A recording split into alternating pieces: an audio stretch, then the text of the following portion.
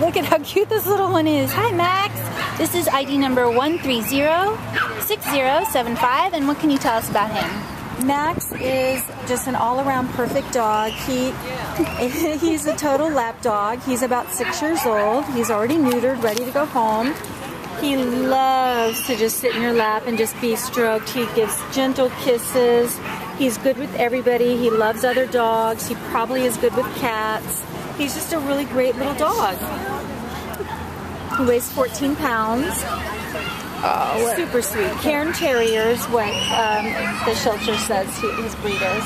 what a sweetheart.